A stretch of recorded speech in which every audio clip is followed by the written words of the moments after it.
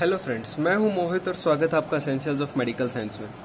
हमने अभी पिछली वीडियोस में बात की थी tracts of the spinal cord के बारे में। डिसेंडिंग ट्रैक्ट्स हमने पढ़ा था और असेंडिंग ट्रैक्ट्स अभी मैं बीच में छोड़ रहा हूँ क्योंकि असेंडिंग ट्रैक्ट्स जो है वो फंक्शनल एरियाज़ ऑफ़ ब्रेन से रिलेटेड है और फंक्शनल एरियाज़ पढ़ते पढ़ते हम एक एक असेंडिंग ट्रैक्ट को लेके चलेंगे ठीक है?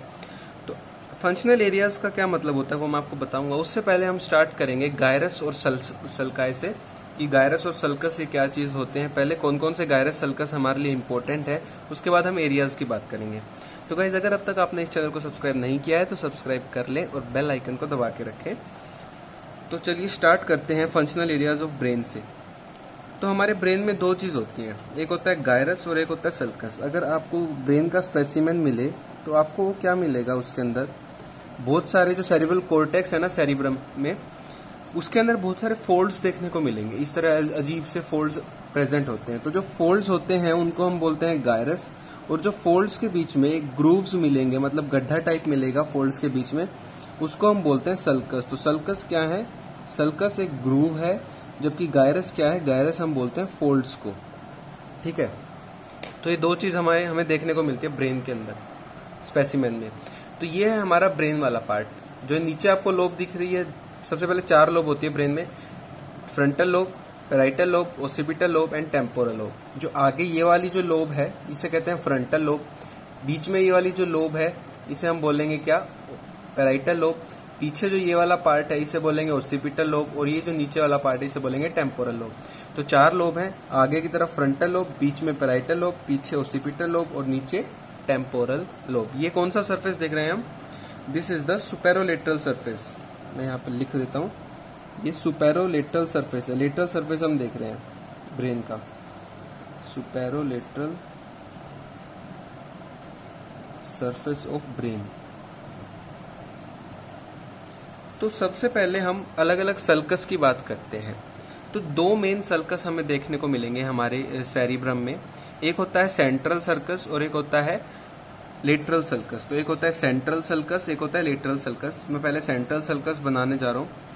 तो ये जो सल्कस ये आप देख रहे हो, ये जो बीच से जा रहा है, इसे हम बोलेंगे सेंट्रल सल्कस स्ट्रेट नहीं होता, ऐसे घूम फिर के आता है, मैंने स्ट्रेट बनाया है। और एक होता है लेटरल सल्कस तो ये जो मैंने बना रहा हूँ, ये क्या है? This is our lateral sulcus तो एक होता है सेंट्रल सल्कस और एक होता है इस तरह से लेटरल सल्कस तो दो सल्कस हमने देख लिए, एक सेंट्रल और एक हो गया lateral sulcus central sulcus center में होगा, लेटरल सर्कस इस तरह से अलग करेगा, टेम्पोरल लोब को बाकी ऊपर वाली लोब से। ठीक है? अच्छा जी, अब बचे हुए और अगर हम देखें सर्कस तो ये तो दो मेन थे। इसके अलावा सेंट्रल सर्कस के आगे, सेंट्रल सर्कस के आगे जो सल्कस होगा, उसे क्या बोलेंगे? प्री सेंट्रल सेंट्रल से पहले है तो प्री सेंट्रल और सेंट्रल सर्कस के बाद जो सल्कस होगा, उसे हम बोलेंगे पोस्ट सेंट्रल सर्कस। तो चार सल्कस हो गए, एक लेटरल सल्कस, एक सेंट्रल सल्कस, सेंट्रल के आगे प्री सेंट्रल और सेंट्रल के पीछे पोस्ट सेंट्रल सल्कस। तो ये सल्कस हो गए। अब जो ये वाला पार्ट है सेंट्रल सल्कस के आगे वाला पार्ट है, ये है फ्रंटल लोब तो फ्रंटल लोब के अंदर दो सल्कस हमें देखने को मिलेंगे। कौन कौन से? एक होगा सुपीरियर फ्रंटल सल्कस और एक होगा इन्फीरियर फ्रंटल सल्कस। तो जो मैंने दो रेड कलर में बनाए, ये ऐसे नहीं प्रेजेंट होते कि भाई इतना ही होता है। पूरी इस तरह से ग्रुप प्रेजेंट होते हैं, घूम फिर के, बहुत ही भूल भुलैया बनी होती है, ठीक है ब्रेन को देखोगे तब। लेकिन मैं इसको अपनी सिंप्लिसिटी के लिए इस तरह से बना रहा हूँ। तो फ्रंटल लोब के अंदर दो सल्कस हैं, एक होगा सुपीरियर फ्रंटल सल्कस और एक होगा inferior frontal sulcus superior frontal inferior frontal अब, जो सेंट्रल सल्कस के पीछे वाली जो लोब है ब्रेन की, इसे हम क्या बोलेंगे? पेराइटल लोब और जो और पीछे चलेंगे तो ये वाली जो लोब है, सबसे पीछे, ये है ओसिपिटल लोब तो पेराइटल और ओसिपिटल इन दोनों के बीच में एक सल्कस आता है जो पेराइटल और ओसिपिटल लोब को अलग करता है, वो है हमारा पेराइटो ओसिपिटल सल्कस तो ये वाला कौन सा सल्कस हो गया? पेराइटल को ओसिपिटल से अलग कर रहा है तो पेराइटो ओसिपिटल सल्कस ठीक है? अब चलते हैं टेम्पोरल लोब में। फ्रंटल देख ली पेराइटल और ओसिपिटल को अलग करने वाला देख लिया। अब नीचे वाली जो लोब है टेम्पोरल लोब इसमें अगर मैं बताऊँ आपको तो इसमें इसी तरह फ्रंटल की तरह इसमें भी दो सल्कस होंगे। एक ऊपर की तरफ़ और एक नीचे की तरफ़ तो इसको क्या बोलेंगे? टेम्पोरल लोब में है तो सुपीरियर टेम्पोरल सल्कस और नीचे वाला इंफीरियर टेम्पोरल सल्कस तो ये सारे सल्कस हमने देख लिए। इसके अलावा एक और सल्कस होता है इंपॉर्टेंट जो यहाँ से जा रहा होता है पीछे से, इसे हम बोलते हैं कैलकराइन सल्कस बहुत इंपॉर्टेंट है ये कैलकराइन सल्कस अब मैं इसकी नेमिंग करता हूँ। एक एक करके सबका हम नाम देखते हैं। जो सबसे बीच में था, ये कौन सा था? एक सेकेंड सबसे सेंटर में था तो इसको क्या बोला हमने? सेंट्रल सल्कस सल्कस के लिए मैं एस के ऊपर इस तरह से सर्कल कर रहा हूँ, ठीक है? अब सेंट्रल सल्कस के पीछे कौन सा सल्कस हो गया? पोस्ट सेंट्रल सल्कस और सेंट्रल सल्कस के आगे वाला कौन सा हो गया? प्री सेंट्रल सल्कस ठीक है? ये कौन सा फ्रंटल लोब में है तो इसको क्या बोलेंगे हम? सुपीरियर फ्रंटल सल्कस, और नीचे वाले को क्या बोलेंगे? इंफीरियर फ्रंटल सल्कस ये वाला कौन सा था? शुरू में बताया था लेटरल सल्कस ठीक है। टेम्पोरल लोब में चले तो ऊपर वाले को क्या बोला था? Superior temporal sulcus superior temporal sulcus और नीचे वाले को क्या बोला? Inferior temporal sulcus. और जो ये पीछे की तरफ़ से जो ये सल्कस आ रहा था बीच में, इसे क्या बोल रहे थे हम? Calcarine sulcus. और एक जो ये बच गया पेराइटल और ओसिपिटल लोब को अलग करते हुए, इसको हमने क्या बोला था? Parieto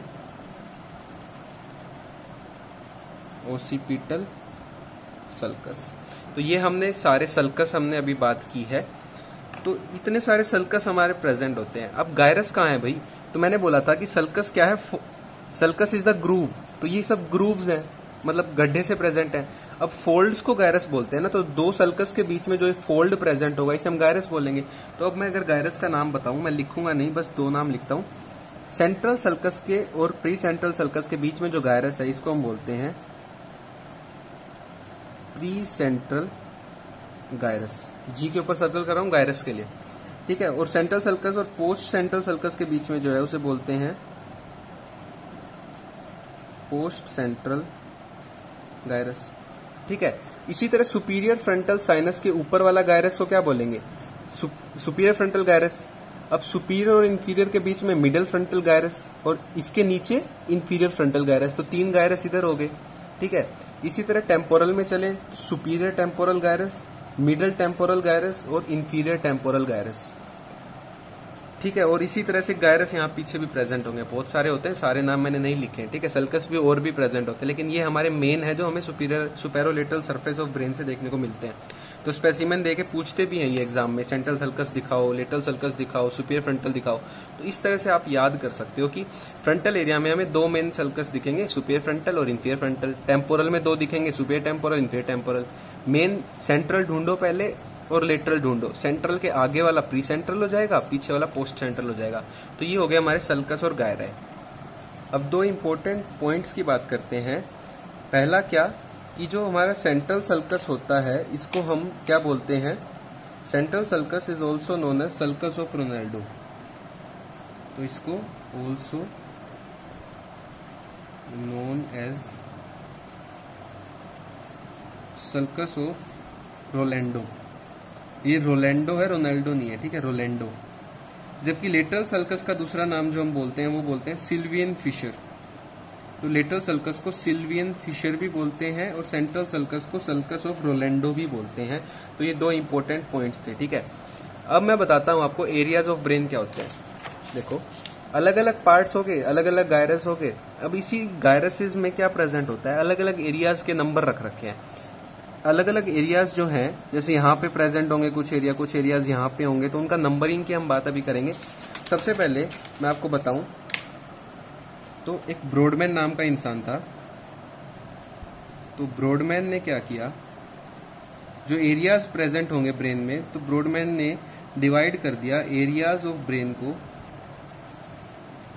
Areas of brain into two types तो दो हिस्सों में बांट दिया ब्रॉडमैन ने। एरियाज़ ऑफ़ ब्रेन को कौन कौन से दो टाइप सबसे पहला, उसने बांटा क्या? प्राइमरी एरिया एक तो उसने नाम दिया क्या? प्राइमरी एरिया ठीक है? और दूसरा उसने नाम दिया association area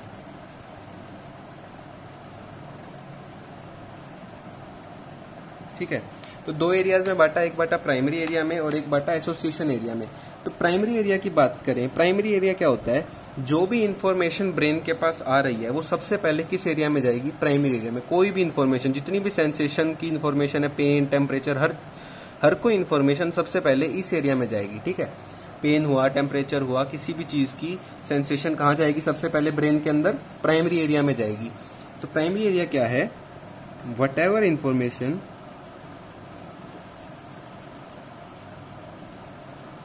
whatever information coming to brain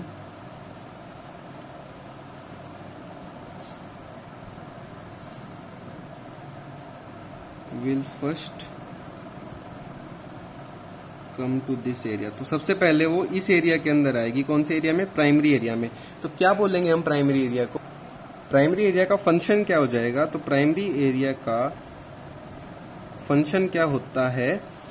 perception of perceive कर रहा है। मतलब रिसीव कर रहा है। तो क्या बोलेंगे? इसका फ़ंक्शन क्या है? परसेप्शन ऑफ़ सेंसेशन तो सेंसेशन को परसीव या रिसीव करने का काम होता है प्राइमरी एरिया का। तो एसोसिएशन एरिया नाम में एसोसिएशन है मतलब कि जो इन्फॉर्मेशन आई है तो भाई उसको अंडरस्टैंड भी तो करना पड़ेगा कि वो है क्या चीज़। तो आई तो यहाँ पे है, लेकिन उसको अंडरस्टैंड करने का काम कौन करेगा? एसोसिएशन एरिया तो एसोसिएशन एरिया क्या करता है? ये अंडरस्टैंड करने में हेल्प करता है। अंडरस्टैंड द सेंसेशन तो इसका फ़ंक्शन की बात करें एसोसिएशन एरिया का फ़ंक्शन क्या हो जाएगा इस हिसाब से? इसका फ़ंक्शन हो जाता है इंटरप्रिटेशन तो ये इंटरप्रेट करता है कि भाई क्या इंफॉर्मेशन है। तो इंटरप्रिटेशन ऑफ़ सेंसेशन और इंटरप्रेट और परसीव तो इसने कर दिया। अब मोटर एरिया क्या, अब आगे बचा हुआ काम तो मोटर एरिया का है। तो वो मोटर जो भी मूवमेंट वगैरह करानी होगी वो वो कराएगा। तो एक प्राइमरी एरिया होता है जो कि सेंसेशन को परसीव करता है और एक एसोसिएशन एरिया है जो कि इंटरप्रेट करता है कि भाई क्या सेंसेशन आई है, उसको अंडरस्टैंड करने में हेल्प करता है। तो ये दो मेन एरियाज़ मिलेंगे हमको प्राइमरी एरिया एसोसिएशन एरिया हर एरिया जो ब्रेन में मैं बताऊँगा आपको, उसका प्राइमरी एरिया भी होगा, उसका एसोसिएशन एरिया भी होगा। तो एक पॉइंट यहाँ पे हम लिखते हैं every area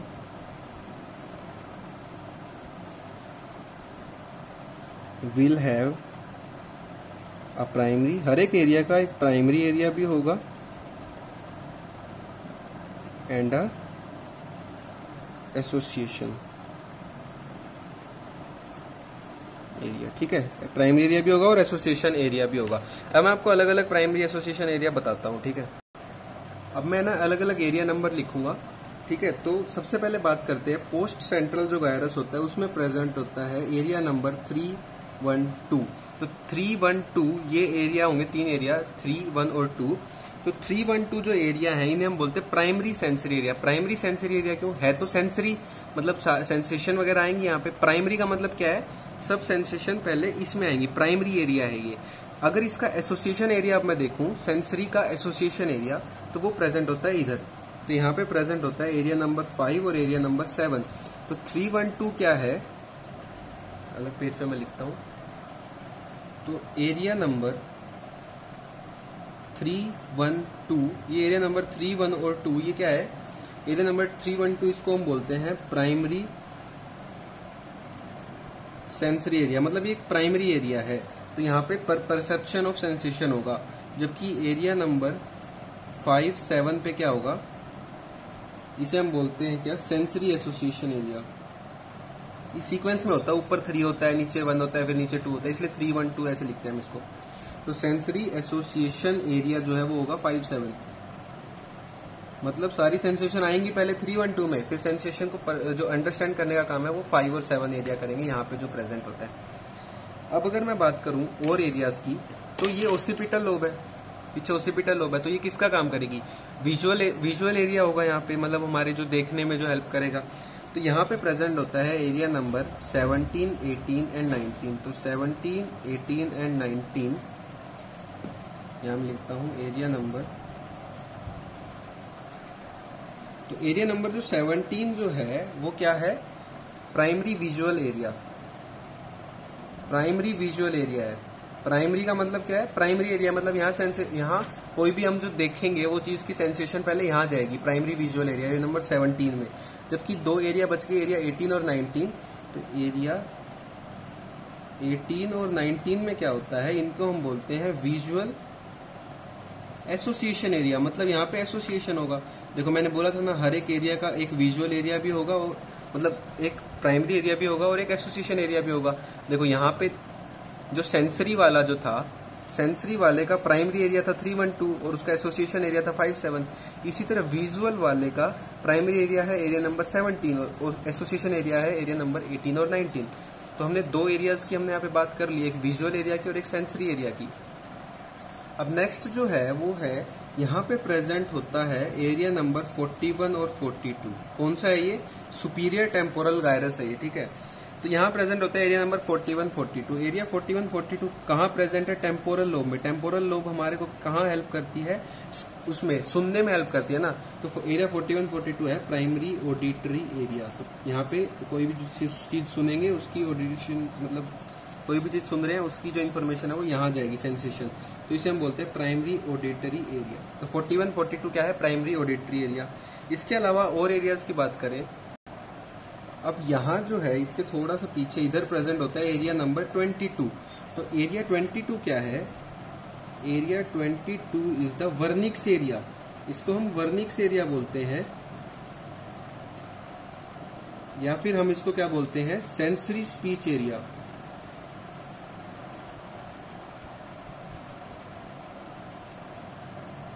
इसका मतलब क्या हुआ कि मान लो एरिया 41, 42, एरिया 41 देखो फर्निक्स एरिया बोलते हैं एरिया नंबर 22 ये वाला जो एरिया मैंने लिखा है। तो 41, 42 प्राइमरी ऑडिटरी एरिया मतलब कोई भी चीज़ हम सुनेंगे उसकी सेंसेशन यहाँ जाएगी। मतलब अगर ये डैमेज हो गया तो हमें कुछ सुनाई नहीं देगा।